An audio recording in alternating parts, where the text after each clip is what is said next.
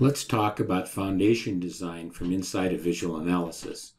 In order to do this, it requires that you have Visual Foundation installed on your computer.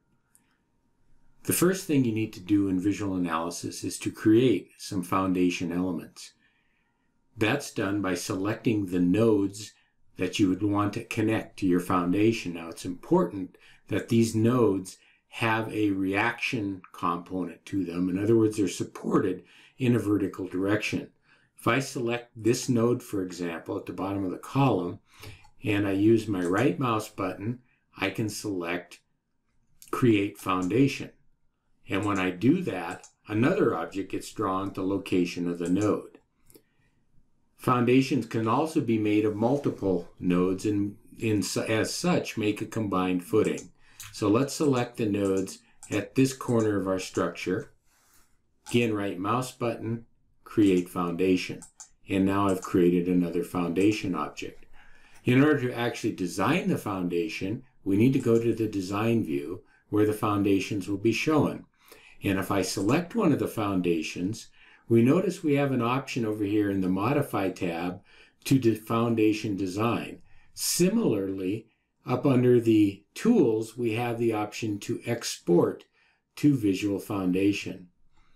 If I select that option, let's see what happens. Visual Foundation will be started, and it will include a footing which has our foundation as well as the column that was at the top of the foundation. If we look, the loads that were in the existing model are transferred over. For example, for live load, we have a column reaction of a moment, a shear, and an axial force. And for the wind load, we have those reactions. And if we go back to the dead load, we'll see we have those reactions as well. So the foundation loads then are brought over and you can go ahead with your design in Visual Foundation. Let's just change the dimensions a little bit and make the foundation longer in one direction or, or the other. And now let's just exit Visual Foundation. And when I do that, it asks me if I want to save this project. If you decide you want to come back to this foundation and modify your design, you might want to save it at this point.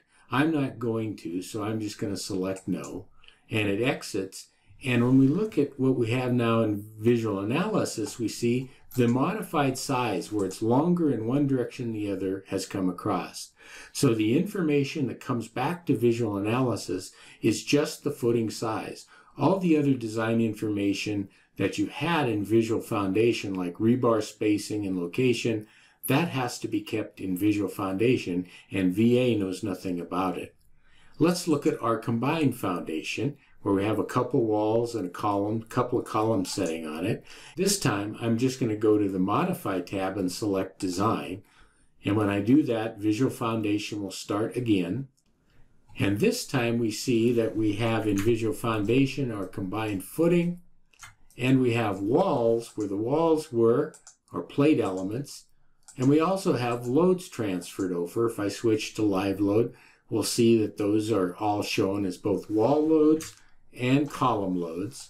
So those are brought across. So just like that, a combined footing can be brought into Visual Foundation.